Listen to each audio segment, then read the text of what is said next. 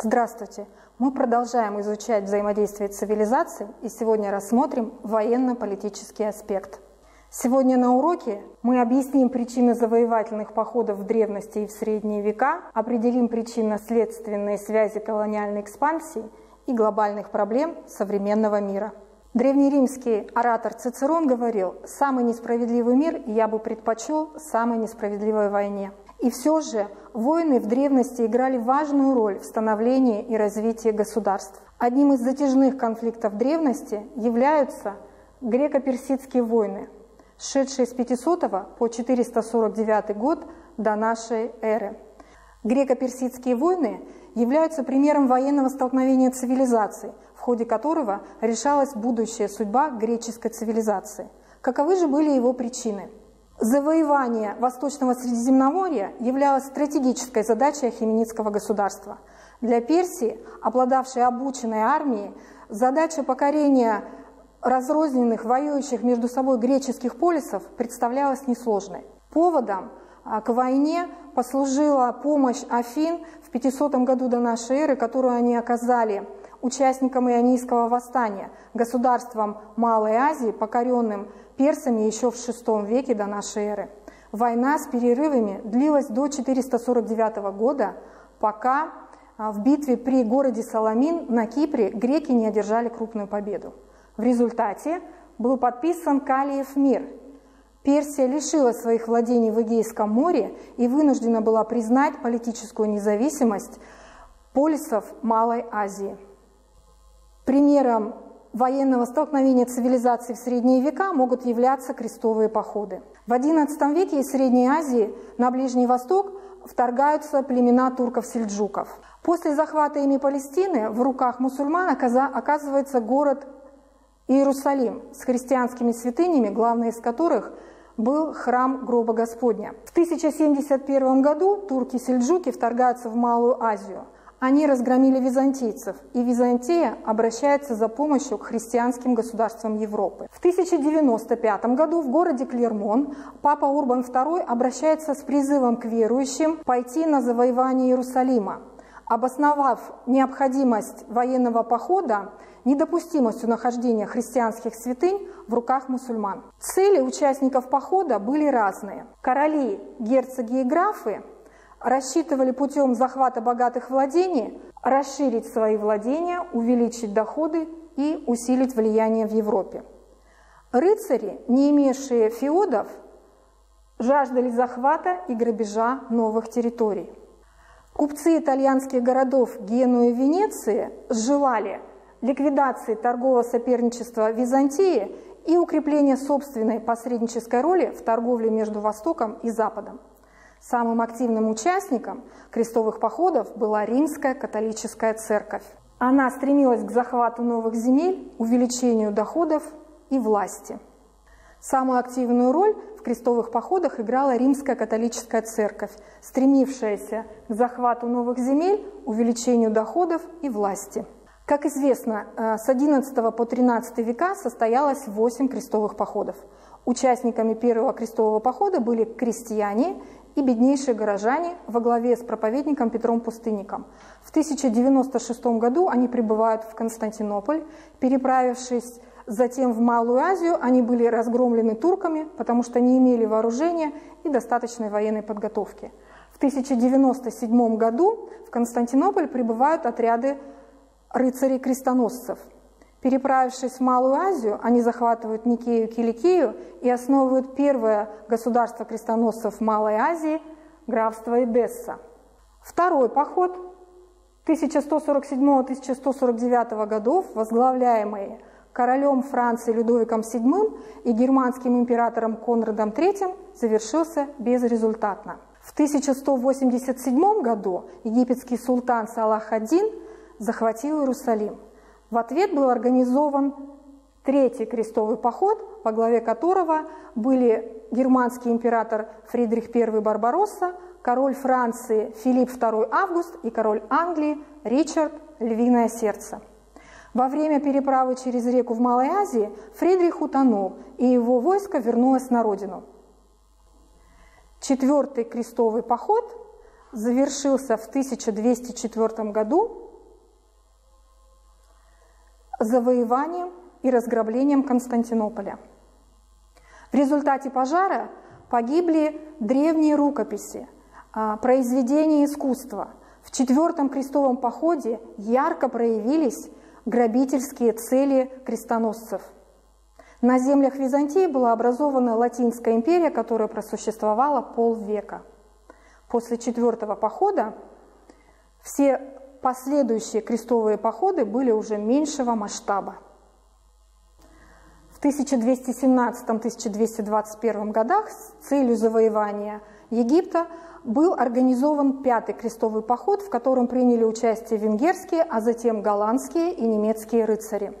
Шестой крестовый поход в 1228-1229 годах был организован германским императором Фридрихом II Гогенштауфеном. В результате его соглашения с египетским султаном Аль-Камилем крестоносцы вошли в Иерусалим.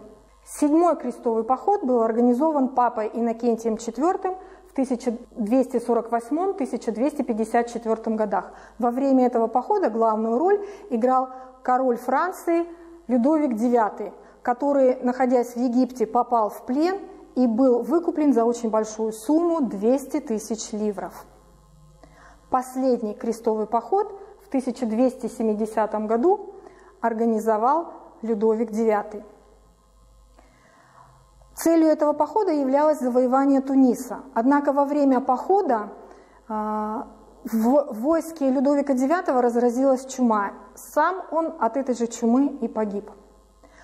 Последний оплот крестоносцев на востоке после восьмого крестового похода крепость Акра пала в 1291 году. В результате крестовых походов установились более тесные связи Европы со странами Востока.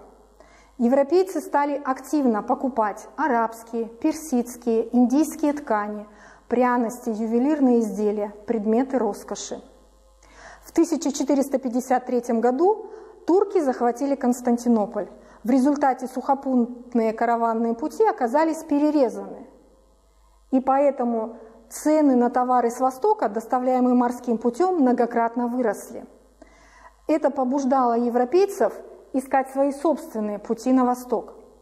Кроме того, в этот период времени Европа испытывала недостаток драгоценных металлов, которые были так необходимы ей для внешней торговли с теми же странами Востока – это побуждало европейских правителей искать новые источники золота. Португальцы объявили о начале конкисты, завоевания Африки с целью поиска золота. Морские плавания португальцев к западному берегу Африки позволили им найти не только источники золота, но также и источники работорговли – в 1487 году Бартоломео Диаш достиг южной оконечности Африки и нашел проход в Индийский океан. В 1498 году португальский мореплаватель Васко да Гамма открыл морской путь в Индию, обогнув Африку с юга. Получив контроль над морскими путями в Индийском океане, португальцы приступают к завоеванию Азии – они захватывают территории в Индии, Персидском заливе, Китае, на Малукских островах и другие. Подчиняя местных правителей, строя крепости, португальцы стремились поставить под свой контроль производство пряностей. В XVI веке Португалия стала главным поставщиком пряностей в Европу. Одновременно с Португалией морские пути в Индию искала также Испания. Христофор Колумб предложил довольно оригинальный способ. Чтобы открыть Индию, он предложил плыть не на восток, а на запад.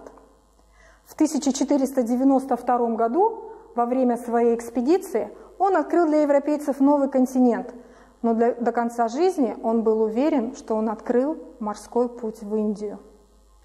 Соперничество Испании и Португалии на морских путях привело к первому в истории разделу мира.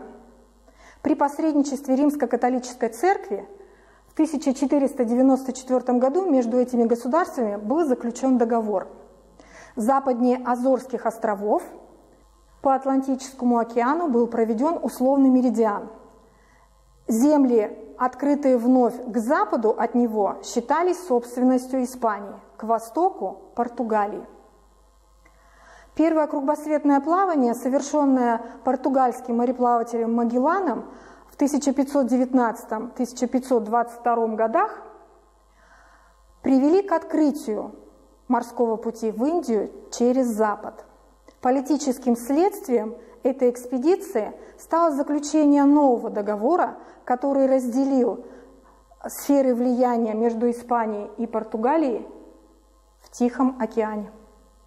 В XVI веке испанские и португальские конкистадоры отправляются на завоевание Центральной и Южной Америки. Их целью был поиск районов, богатых золотом. Первоначально на рудниках использовался труд индейцев, затем начали завозить рабов из Африки. Португальские конкистадоры захватили Бразилию, а испанцы покорили земли майя, ацтеков и инков. В XVI веке начинаются колониальные захваты Северной Америки английскими и французскими колонизаторами. В XVII веке начинается колониальная экспансия торговых компаний. Вследствие развития буржуазных отношений в обществе изменились формы и методы колониальной экспансии. Теперь главная цель – это личное обогащение пайщиков торговых компаний, которые осуществляют колониальные захваты. Торговые компании создавались во многих государствах – в Голландии, в Англии, Франции и в других европейских странах. Однако наибольшее влияние имели английская и голландская Ост-Индские торговые компании. Английская Ост-Индская компания была создана в 1600 году по указу императрицы Елизаветы I. Компания получила монопольное право торговли с Индией и Китаем – Имея свои собственные армию и флот, компания участвовала в войнах Англии против Франции и Голландии. С целью получения прибыли на индийских землях разводились плантации опиума, который затем контрабандно ввозился в Китай. Голландская Остинская компания была создана в 1602 году. Она получила монопольное право навигации и торговли от мыса Доброй Надежды на восток до Магелланова пролива. К XVII веку компания захватила основные владения португальцев в Индии и превратилась в крупную политическую и военную силу. В 1621 году для освоения земель в Америке и западного берега Африки была создана голландская Вест-Индская компания – Однако больших успехов в освоении Южной Америки она не сделала. Каковы же были последствия европейских открытий новых земель и колониальных захватов? Благодаря тесным связям стран Европы с Азией, Африкой и Америкой начинает складываться мировая торговля. Лидерами мировой торговли в начале XVI века были Испания и Португалия. К концу XVI века ими становятся Англия и Голландия. В результате ограбления колонии складываются условия для формирования основ индустриального общества. Бурно развивающиеся промышленные предприятия в Европе получили доступ к источникам сырья в колониях. Подведем итоги. Мы объяснили причины военных походов в древности и в Средневековье, рассмотрев греко-персидские войны и крестовые походы – которые являются примерами военного столкновения цивилизаций. Кроме того, мы охарактеризовали причины и последствия европейской колониальной экспансии. Экономическая отсталость – главное негативное наследие колониализма. И сегодня некоторые современные государства не могут добиться устойчивого развития вследствие этого наследия. В современном мире Характер войн и способы их, ведения изменились. О современных военных конфликтах, их особенностях и последствиях пойдет речь на следующем уроке. А наш сегодняшний урок подошел к концу. До свидания. Я желаю вам открытий в изучении истории.